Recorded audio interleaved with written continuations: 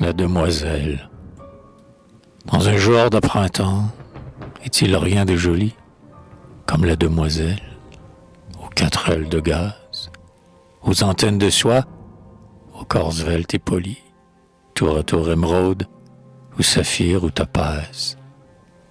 Elle vole dans l'air quand le jour a pâli, elle enlève un parfum à la fleur qu'elle rase, et le regard charmé la contemple en extase, sur les flots azurés traçant un léger pli.